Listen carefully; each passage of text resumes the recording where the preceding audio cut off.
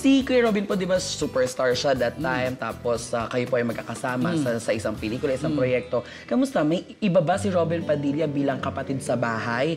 O Robin Padilla bilang Robin Padilla na big star nung panahon? Ah, magkaiba.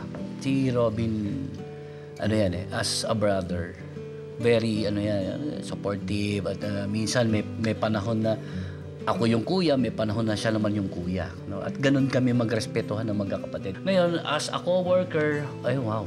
Iba din. Oo, ano yan si Robin eh. Ah, yung, yung very passionate yan. na talagang pag nasa set yan, ultimo mga maliliit na detalye, siya nagsusulat, siya nagde-direct, siya nag-stand director, lahat. Wow.